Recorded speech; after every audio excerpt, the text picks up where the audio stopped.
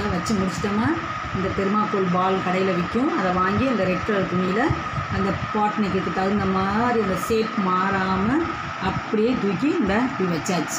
இப்போ front neck finish இப்போ back நெக்கில் அப்படியே நல்ல பக்கத்தில் பீஸ் கொடுத்து அடித்து திருப்பி பைண்டிங் பண்ணி அப்படியே இப்போ தோள்பட்டையோட தோள்பட்டையை இப்போ நம்ம ஜாயின் பண்ண போகிறோம் இப்போ இது பாருங்கள் நீட்டாக இருக்கா? இந்த மாதிரி தான் நீங்களும் பண்ணணும். சரி இப்போ பேக் நெக் எப்படி பண்ணுறதுங்கிறத உங்களுக்கு காமிக்கிறேன். இந்த இப்போ பின்னாடி நெக்கு. அதே மாதிரி தான் கழுத்து அந்த பாட் நெக்குக்கு பீஸ் கொடுத்து அப்படியே அடித்து அந்த பாட் நெக்கை கொண்டு வந்துட்டேன். கொண்டு வந்து இந்த ஒரு அமுக்கடியும் போட்டுட்டேன். போட்டு இதை அப்படியே அழகாக பைண்ட் பண்ணுற பைண்ட் பண்ணுறதுக்கு ஒரு தையல் போட்டேன். இதுதான் பின்னாடி நெக்கு. இப்போ பின்னாடி நெக்கையும் முன்னாடி நெக்கையும் தோள்பட்டையும் தோள்பட்டையும் நம்ம ஜாயின் பண்ண போகிறோம் ஜாயின் பண்ணிவிட்டு அப்படியே ஸ்லீவ் ஜாயின் பண்ண போகிறோம்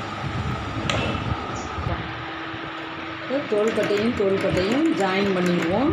இந்த இப்படி ரிவர்ஸ் கட்டி ரெண்டு தோள்பட்டையும்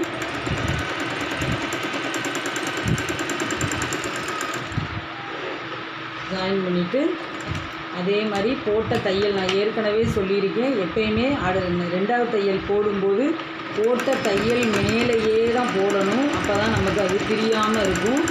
ரெண்டாவது கெட்டி கெட்டிப்படுத்துகிற மாதிரியும் ஆகிடும் இப்போ கை வ- கை வந்து இந்த தச்சு முடிச்சிட்டோம். எல்லாம் வச்சாச்சு. தோள்பட்டையும் தோள்பட்டையும் ஜாயின் பண்ணியாச்சு. இப்போ கை ஜாயின் பண்ணணும் அதில். இப்போ கை இந்த கை வெட்டியாச்சு. கையை இப்போ நம்ம ஒரு இன்ச்சு பட்டி மடிச்சிடணும். இப்போ ஒரு இன்ச்சு கை பட்டி மடிச்சுட்டு கையை தூக்கி நம்ம அதில் ஜாயின் பண்ண போகிறோம் இந்த கை பட்டி மடிக்கிறதுக்கு ஒரு இன்ச்சு பட்டி மடிக்கிறதுக்கு விட்டு தான் வெட்டி இருக்குது அதனால் அதை மடித்து தச்சுட்டு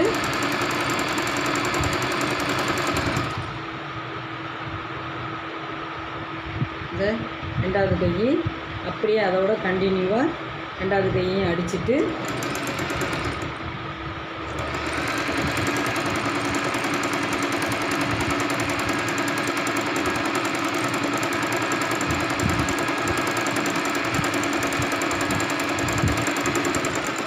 கை எப்படி ஜாயின் பண்ணுறது அக் அதாவது தோள்பட்டையோட அக்குளோட வச்சு எப்படி ஜாயின் பண்ணுறது அப்படிங்கிறத காமிக்கிறேன். வருதுல இப்போ இது நல்ல பக்கம். இந்த கையோட நல்ல பக்கம் இது. இந்த நல்ல பக்கத்துக்கு மேலே இந்த உடம்போட நல்ல பக்கத்து மேலே கொண்டு போய் இந்த நல்ல பக்கத்தை வைக்கணும். வச்சு இந்த இதுவும் இதுவும் கரெக்டாக இருக்கா அப்படின்னு செக் பண்ணணும். இந்த இதுவும் இதுவும் கரெக்டாக இருக்குது இப்போ என்ன பண்ணணும்? நம்ம ஜாயின் பண்ணணும். ஜாயின் பண்ணும்போது இந்த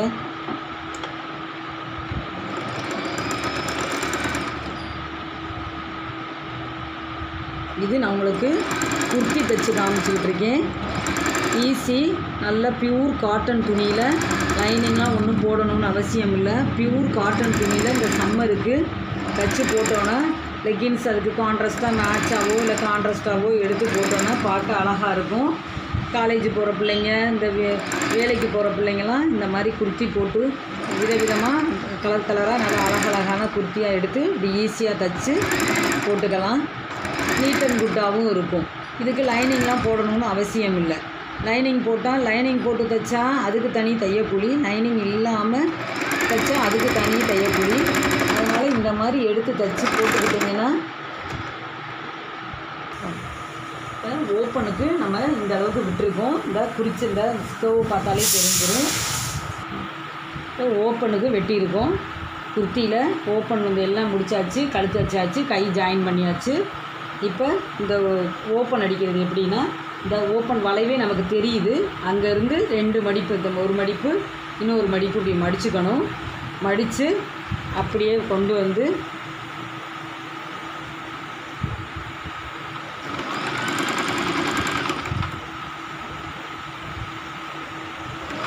சின்னதாக ஒரு ஆஃப் இன்ச்சு அப்படி அளவுக்கு ரெண்டு மடிப்பு மடித்து அப்படியே தச்சிடணும்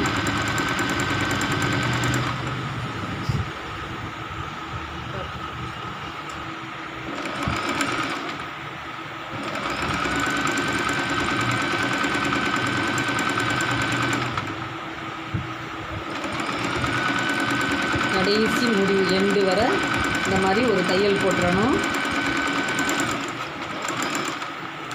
போட்டு திருப்பி இதை கீழே கீழ் பாட்டத்தை அதே மாதிரி ரெண்டு மடிப்பு ஆஃப் இன்ச்சுக்கு ரெண்டு மடிப்பு மடித்து இதே மாதிரியே ஒரு தையல் போட்டுறணும். ஃபஸ்ட்டு ஸ்டார்டிங்கில் ரிவர்ஸ் கட்டி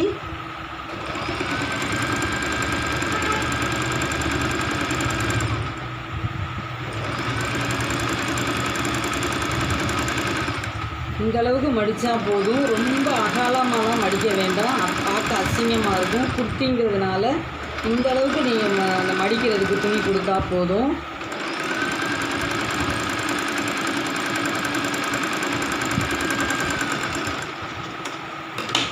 திருப்பி இந்த பக்கம். அதாவது கீழே ரெண்டு சைடுலேயும் கீழேயும் கீழ் பாட்டத்துலேயும் ரெண்டு சைட்லேயும் அடிச்சிட்டோம்னா நீட்டாயிரும்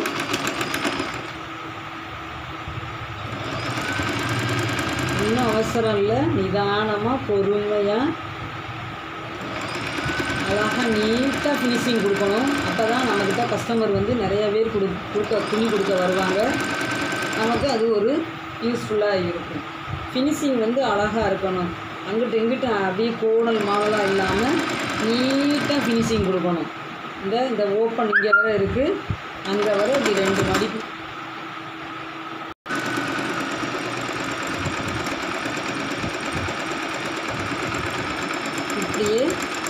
அடிச்சிடணும்.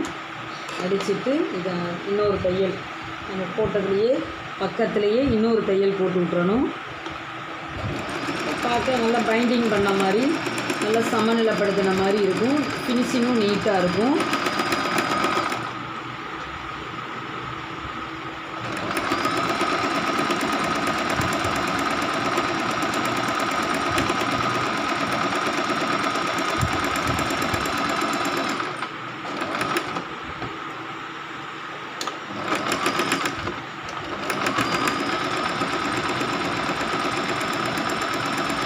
ஓரமாக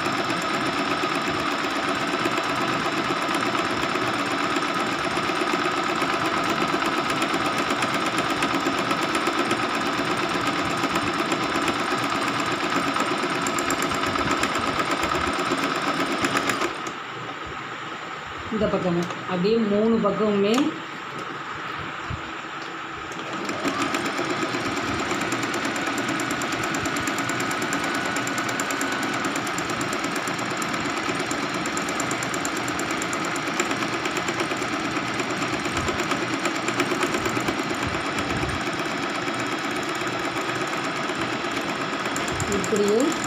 போட்டுடணும் போட்டுறணும். தையல் போட்டு இப்போ இதை ஜாயின் பண்ணணும். மார்பு சுற்றளவு கை சுற்றளவு.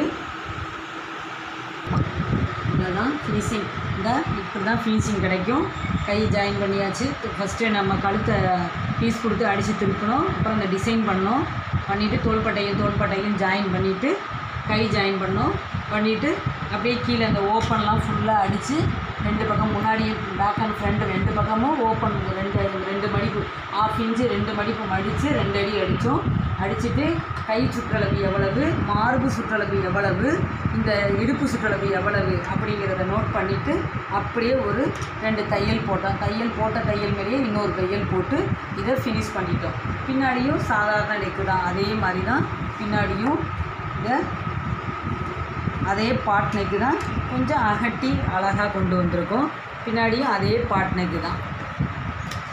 பாருங்கள் ஓகே ஃப்ரெண்ட்ஸ் இந்த வீடியோ உங்களுக்கு பிடிக்கும் நான் நினைக்கிறேன். லைக் பண்ணுங்கள் ஷேர் பண்ணுங்கள் சப்ஸ்கிரைப் பண்ணுங்கள் ஏதாவது டவுட் இருந்தால் கமெண்ட்ஸில் கேளுங்க. நான் கிளியர் பண்ணுறேன் ஓகே ஃப்ரெண்ட்ஸ் தேங்க்யூ ஃப்ரெண்ட்ஸ்